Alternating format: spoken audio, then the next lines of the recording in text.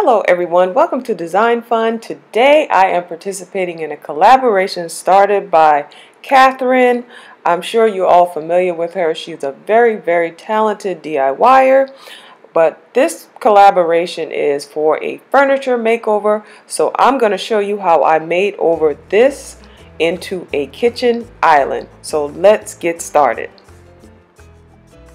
Okay, so the first thing that I'm going to do is I'm going to use two types of paint. I'm going to use this white chalk paint that I got from Walmart for the body of the island. And then for the top, I'm going to use General Finishes Java Gel Stain.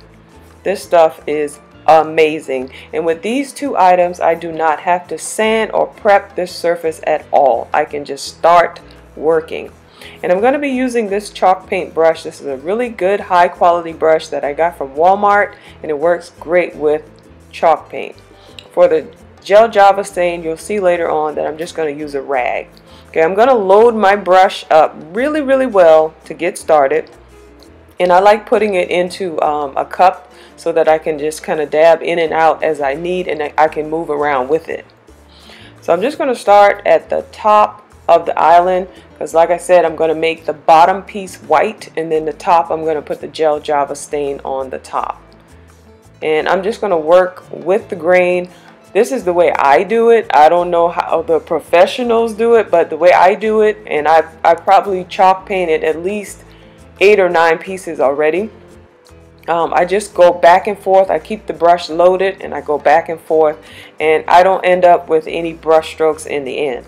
If I see anything drip, I'm going to keep um, a pitcher of water and some paper towels right next to me so that I can wipe up the drips um, because you don't want the drips to actually uh, dry into the piece because then you have to sand it out.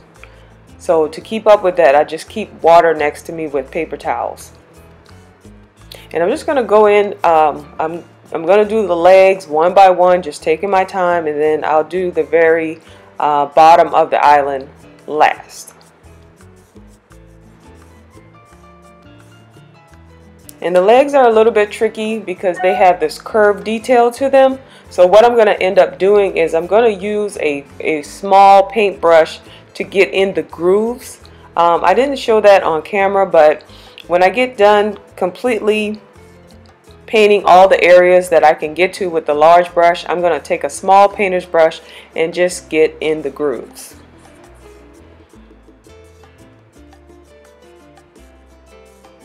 And for chalk paint, I almost always have to use two coats. So this is what it looks like with the first coat applied.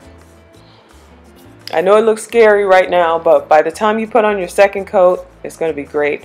Um, so what I do in between coats is I always put my paintbrush inside of a plastic bag or Ziploc bag so that the paint doesn't dry out. Now this top, you see how horrible this top looks? If I wasn't using the gel java stain, I probably would have to sand this down really, really well before getting started. But with this java stain, the general finishes stain, I don't have to do that. I just use a rag. Um, if you do this, make sure whatever rag or paintbrush that you're using to apply the, the general finishes stain is something that you can throw away. Because when you get done with whatever you use to apply it with, you won't be able to reuse it. So I'm just using an old washcloth to apply it. And then to go around the edges I'm just going to use one of those one of those throwaway brushes that I got from the Dollar Tree. So um, I found that if you you just can't reuse anything that you apply it with this stuff is almost like it's it's so um, it's almost like glue once you put it on there's no coming off so and I absolutely love using it because there's no prep work required. So I, yeah, so I just keep dipping it in. It doesn't require a whole lot. Um, so I'll dip it in and then I'll just wipe it across and then uh, until it gets to the color that I want. Um, usually I do two coats of this. If I want it really, really dark, I'll go into three or four coats. Um, I'm going to actually use this in my kitchen to do all of my cabinets and I will be taking you guys along with me in that process. I've been in this house for two years now, over two years, and I have not touched the kitchen. So this is going to be the beginning of my kitchen makeover. And I'm definitely taking you guys along the way with me.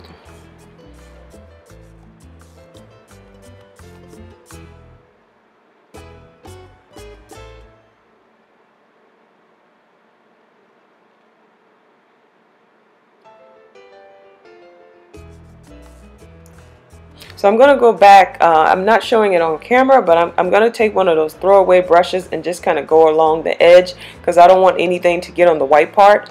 So this is what it looks like after the second coat of white and then I have also put on another coat of the General, uh, General Finishes stain on the top. And I love the way this looks. Now I have to put in a new knob I got a knob from uh, Target that I'm going to put in there. And you'll see that in a moment. Now, to protect my work, um, I can use um, sealing wax, the chalk paint sealing wax, but I want this to have some somewhat of a shine to it. And since it's going to be in the kitchen, I wanted a really sturdy uh, top coat on it. So I'm actually using this uh, Rust-Oleum Painter's Touch Ultra Color Ultra Cover in gloss. It's a clear gloss and it dries um, it dries with a very very glossy finish.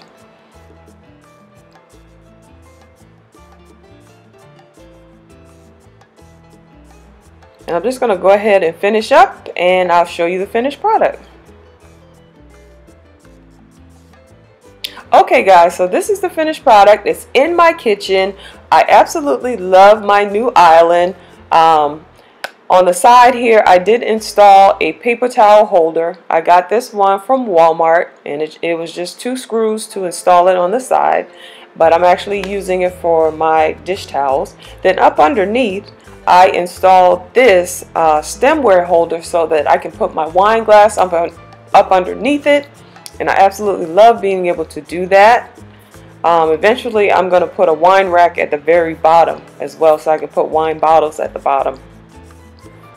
So I love the way this came out. The details on the front, these are actually um, these furniture plaques that I got from Joann's and I just used some liquid nails and I applied it to the very front. They already come in white and I inserted my new knob and this is the finished product and this is just me playing around with some decor on the top but for the most part I will keep a bowl of fruit on the top.